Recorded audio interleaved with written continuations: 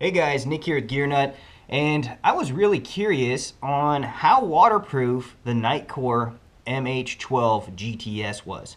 So what I did was I ended up taking off the little tactical ring and the pocket clip, and I put it inside of this Gatorade bottle, which is now frozen solid.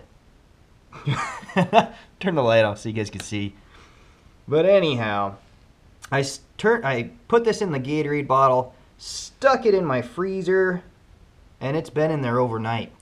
So I've got to get ready to go to work. I'm gonna leave this thing out. Hopefully it thaws out enough when I get home I can finish this video up and show you guys. But that micro USB plug is actually waterproof by itself. So it doesn't need a flap. My flap is actually, I don't know if you guys can see this. see if I can, not really. My flap is actually open. I left it open, stuck it in the bottle, and froze it. So, worst case scenario, if you leave this thing in your vehicle and it has some water on it or in it overnight, what's gonna happen? You know, if you accidentally got wet and it got down below freezing and this light got exposed, so far, it's good.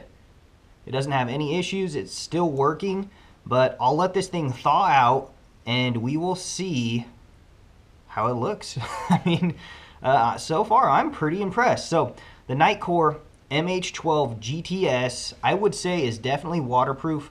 IPX8 is probably not meant to be submerged overnight, and this thing was submerged and frozen. So so far, two thumbs up, Nitecore. We'll uh, see what happens when this thing thaws out, but I imagine it's going to be perfectly fine. So stay tuned and we'll come back as soon as this is all thawed out. All right, so this thing sat, sat out the garage until I got off work, just got home, drained the water out, and I cut it with a knife off camera. Probably should have cut it on camera. but there it is. oh my goodness. How in the world am I gonna set this down maybe? I don't know guys. First time doing something like this. Well, hmm. I need to try to chip on it a little bit with a hammer. That's always a good idea. Hmm? Oh wow. That is cold. Should add some gloves.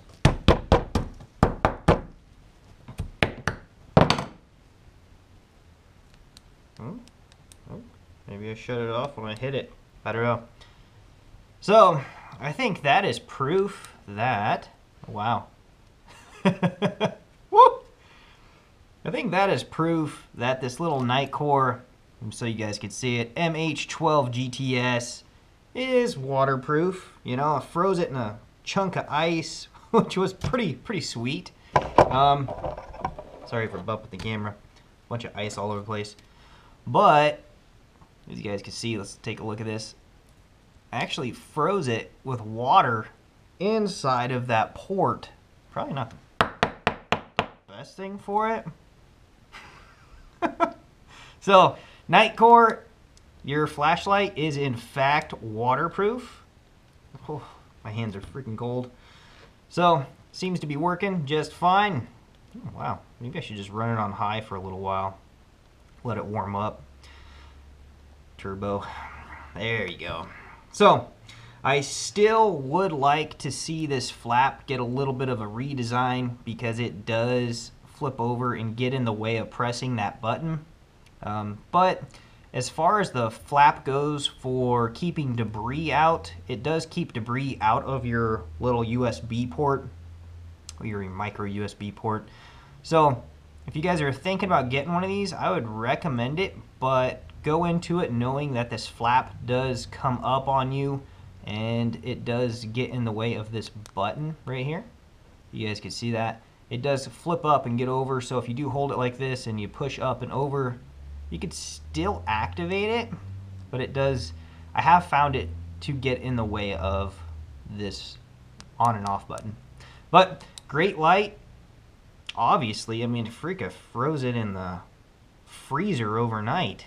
And still works. Cool as that. So, good job Nitecore. And it's pretty cool to have a switch on the back of here that is waterproof. So, actually a micro USB plug. I'm not sure how they got that thing to be waterproof, but that's pretty freaking cool. So, if you guys like videos like this, let me know. Comment section below. And if you guys want to pick one of these up, you guys can go down and use the link down there in the description box. Go over and show the Nitecore store some love. So, Nick here with Gear Nut. Hopefully you've enjoyed this chilling video. I will see you guys later.